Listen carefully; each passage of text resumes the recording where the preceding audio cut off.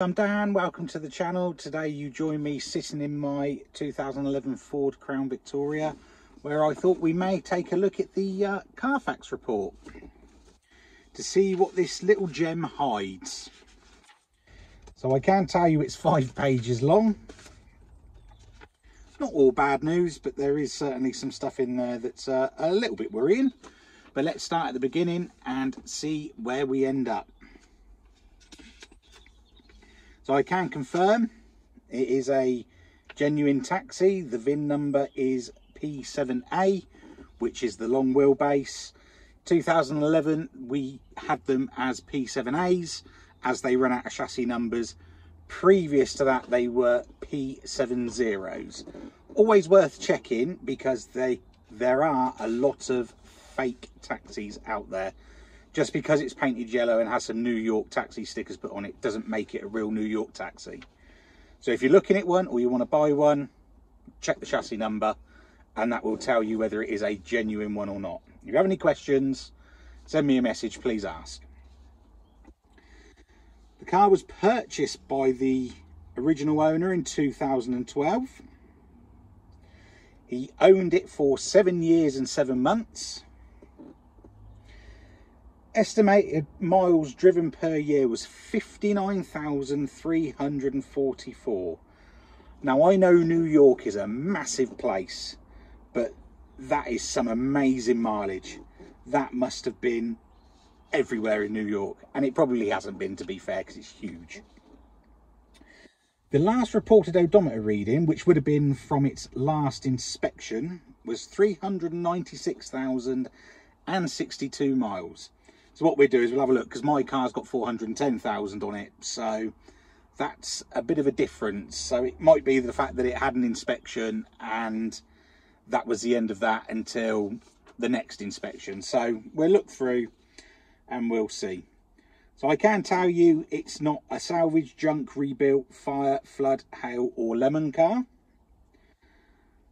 And I can confirm that the mileage according to this is correct. It's good. Page two. So the car was manufactured on the 1st of March 2011 and it was shipped to De Blasi Motors in Corona, New York on the 17th of the 1st 2012 where it was sold to another dealer on the 3rd of the 2nd 2012 and it went to City World Ford Lincoln Mercury Bronx New York. It went for an inspection on the 15th of the 8th 2012 and it passed its emissions. Hooray! and then on the 16th of the 8th 2012 it had a safety inspection performed so it had emissions inspections on the 15th of the 8th and a safety inspection on the 16th of the 8th. And on the 3rd of the 10th, 2012, it was sold. So that would have been sold to the one owner who is Max, or who was Max, and registered as R&G Taxis Incorporated. 5th of the 11th, 2012, the first registration was issued. It was registered as a taxi and it passed another safety inspection.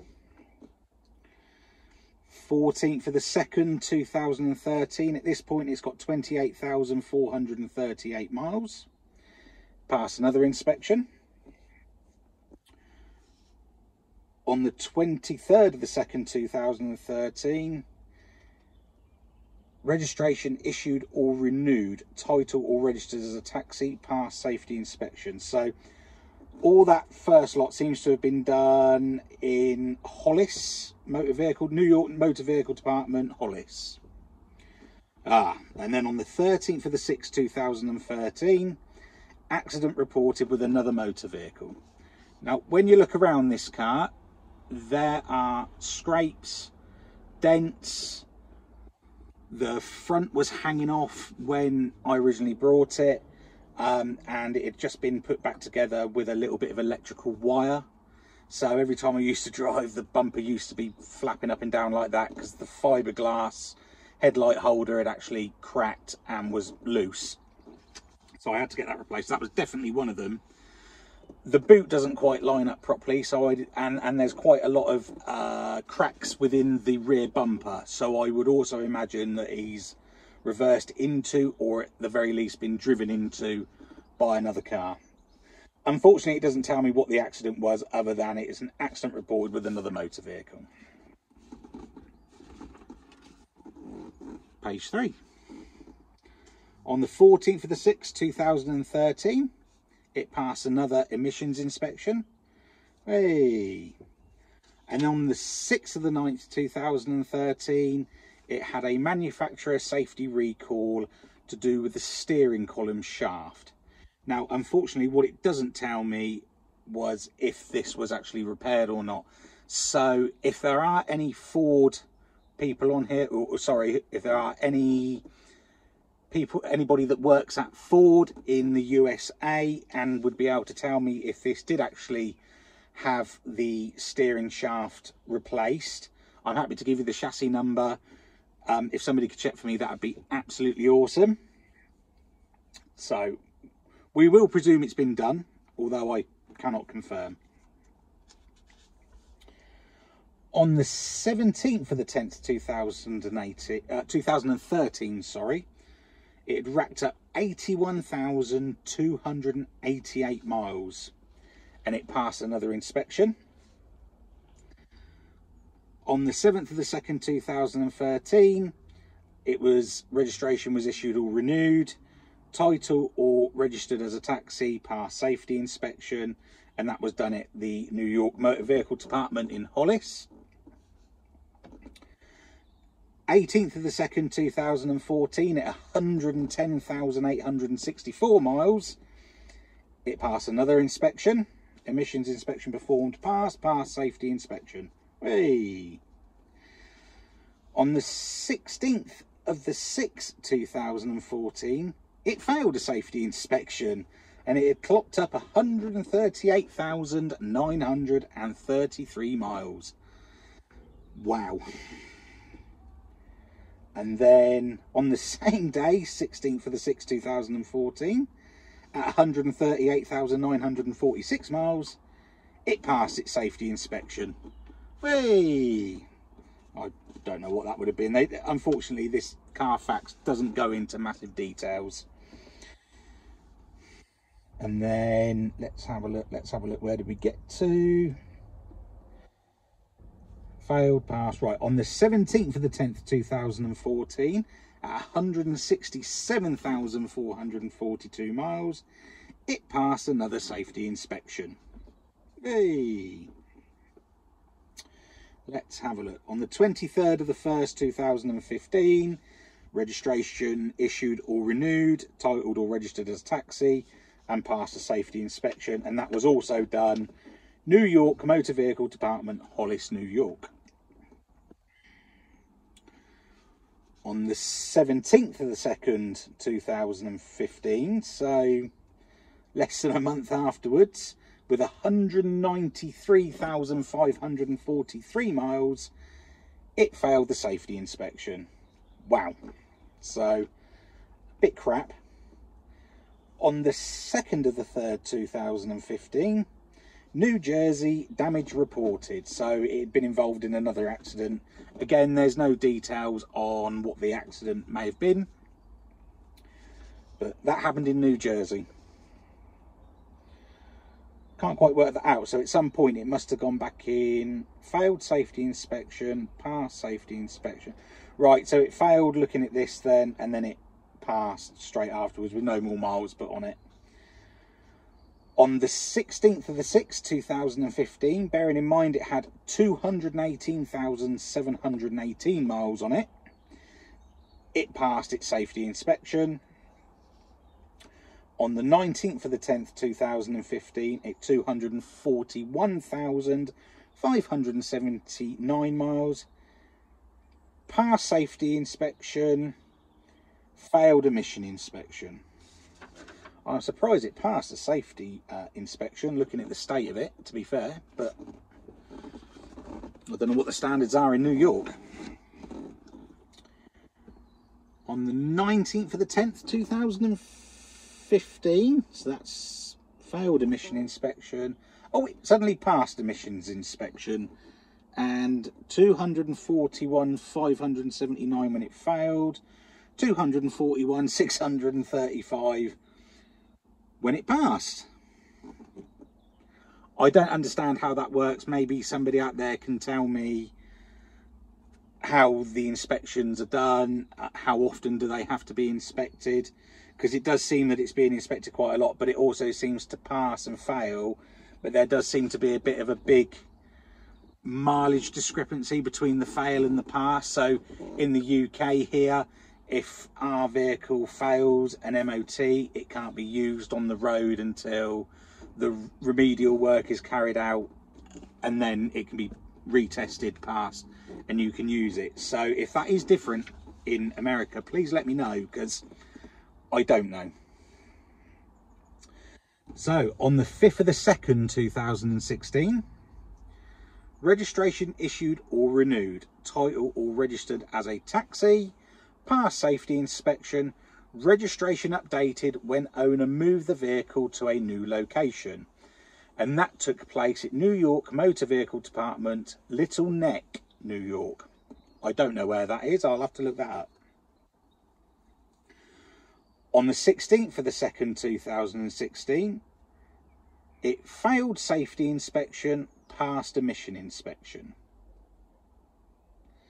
On the 17th of the 2nd, 2016, sorry, I'm not putting the mileage on there, am I? So when it failed the safety inspection on the 16th of the 2nd, it had 259,292 and on the 17th of the second so the day later it had 259,315 and that was when it's part that was when it passed its inspection and the emissions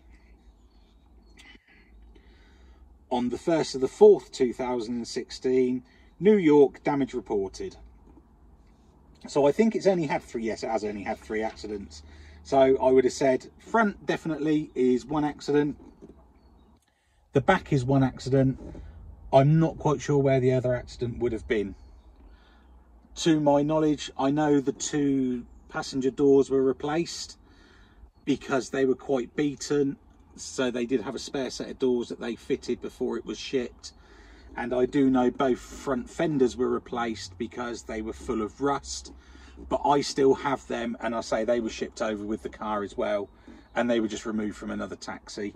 But I still have the original fenders so it was, definitely wasn't that. So I'm not quite sure what the third accident would have been unfortunately which is a shame because I'd like to know what accidents it had who was involved not who was involved but how much damage was there to the car, etc, etc.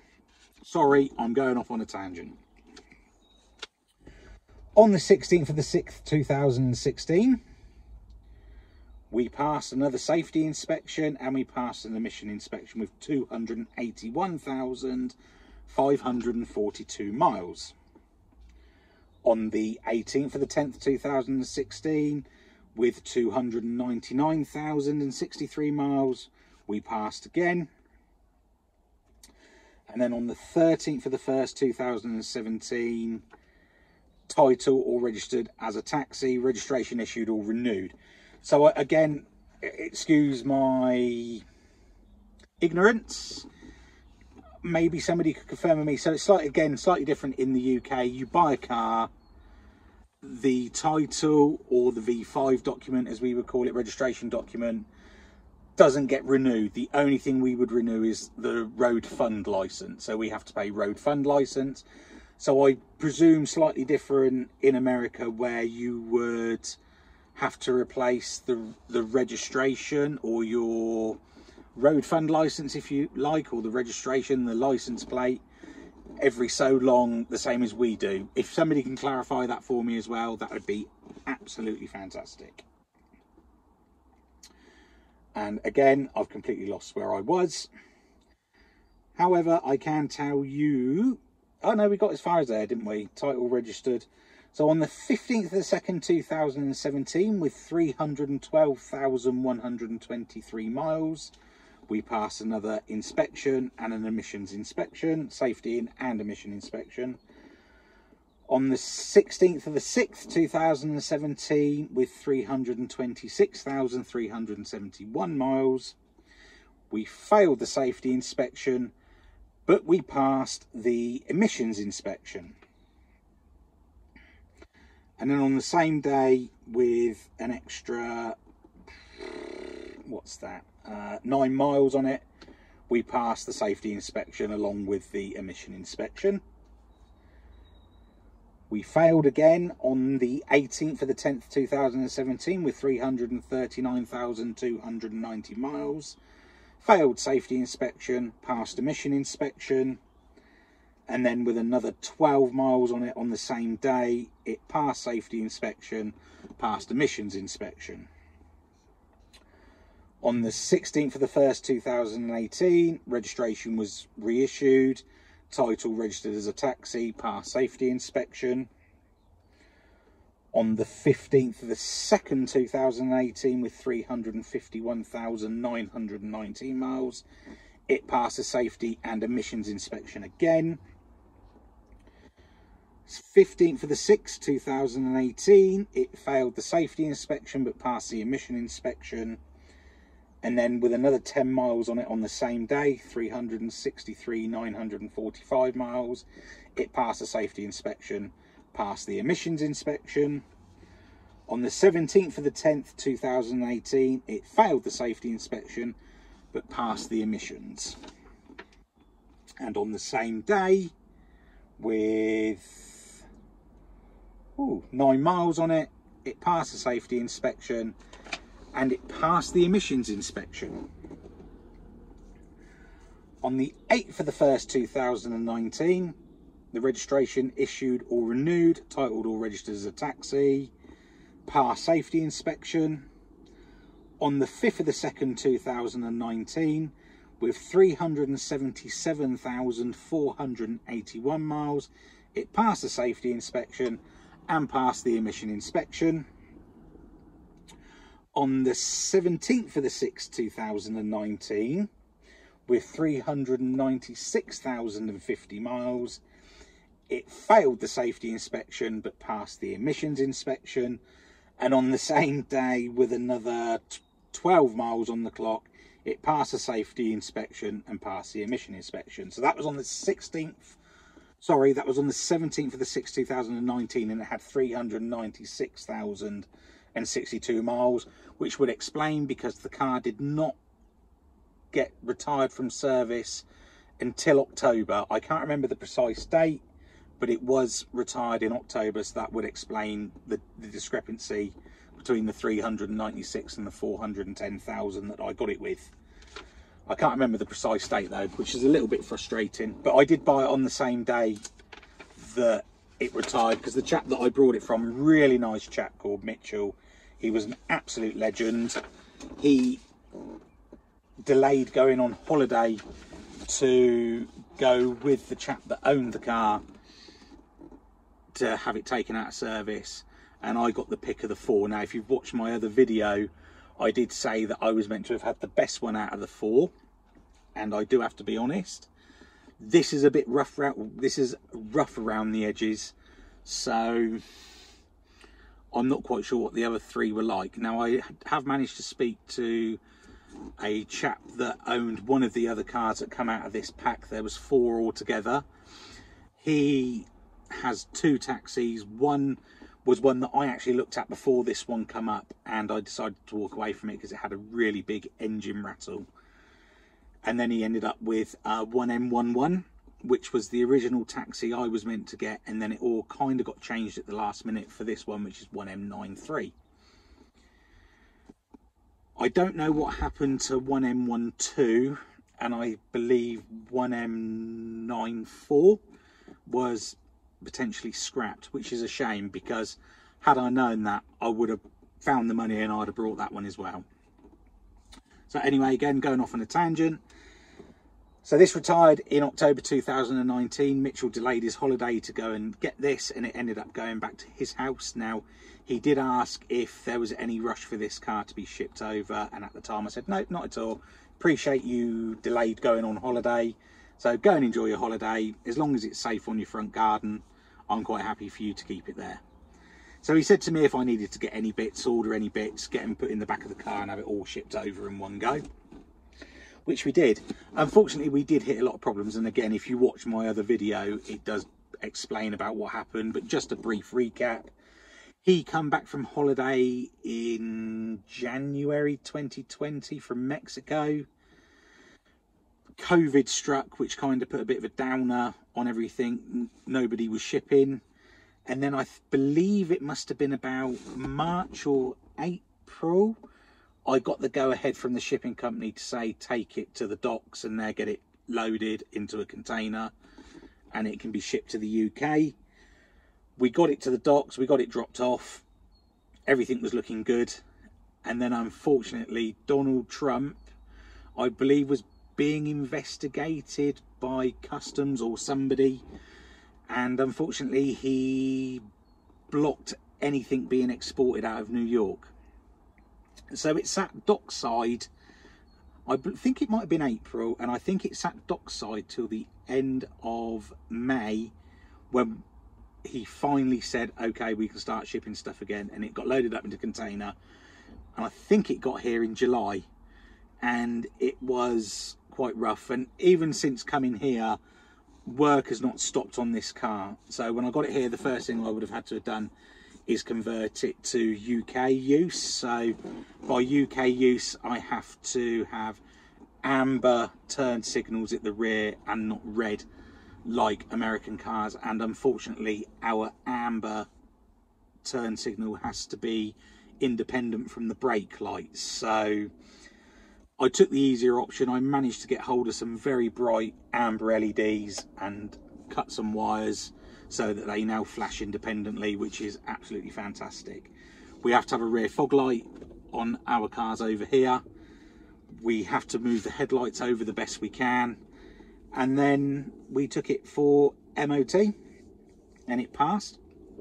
I will say though, it didn't go for MOT straight away. So the UK have a rule that if a car is imported that is under 10 years old it has to have an individual vehicle assessment I think it's called an IVA test and then an MOT so the IVA test I uh, know it's individual vehicle inspection whatever it is I, I can't remember what it's called so basically that has to happen to any car under 10 years old to make sure it meets certain requirements but anything over 10 years old is fine and can just have a normal MOT. So an IVA is a lot stricter than an MOT.